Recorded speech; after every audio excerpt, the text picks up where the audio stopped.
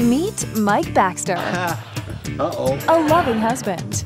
Honey, if we've officially given up, I'm having more bacon. A devoted dad. Mm, Eskimo. A man's man. Grandma's letting me have coffee. Does that mean I get a beer? Last Man Standing, Monday through Saturday at 5 on New Mexico CW.